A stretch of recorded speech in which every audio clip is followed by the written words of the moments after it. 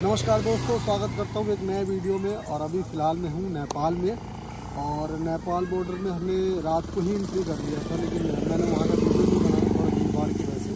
फ़िलहाल अभी हम जा रहे हैं पोखरा और पोखरा के रास्ते में है। तो बाकी देखो इधर का व्यू इधर का व्यू देखो काफ़ी मस्त व्यू है ना? इधर दिखा इधर लेके छह लोग आए हैं जिसमें देखो एक हमारा कैमरामैन ये पुकार।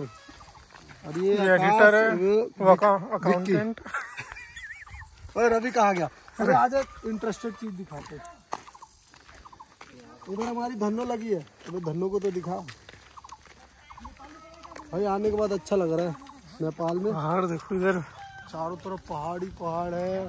और पूरा नैनीताल वाला उत्तराखंड वाला फील आ रहा है भाई। उत्तराखंड में हमने बहुत बार टूर करा है। सेम वैसा वाला फील आ रहा है। अभी देखो मैं एक आपको यूनिक चीज़ दिखाता हूँ। जब हमने एंट्री करा था ना तो एक पर्चा मिला था। उस पर्चे पे मैं आपको एक चीज़ दिखाता हूँ। तो धन्नो को दिखा ये मेरी है धन्नो। कहाँ? एक चीज़ दिखा रहा हूँ ये हमारा परमिट पेपर है जो हम एंट्री किए थे। तो उस समय हमें सर तीन हज़ार पाँच दिन का हमने परमिट लिया था। थोड़ा दूर का। तो मुझे भी तो दिखना चाहिए। परमिट हमने पाँच दिन का लिया था तो समथिंग तीन हज़ार का बना था। और अभी एक देखो, एक चीज़ जो मैं आपको दिखाने वाला हूँ, ये देखो। वेलकम टू नेपाल उसके बाद देखो, ये हमारा गाड़ी नंबर है। और देखो नेपाल का कल का डेट जब कल हमने रात में एंट्री करा तो देखो कल का डेट क्या है। उनतीस तीन दो हज़ार इक्यासी।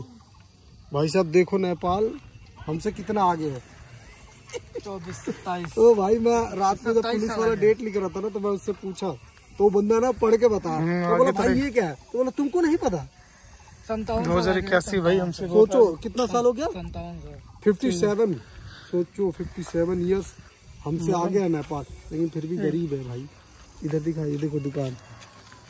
फिर भी ठीक है सब अपनी अपनी जगह सही है। बाकी तो। बाकी भाई अभी हम जा रहे हैं पोखरा। नेपाल का काफ़ी खूबसूरत जगह है, वहाँ देखते हैं।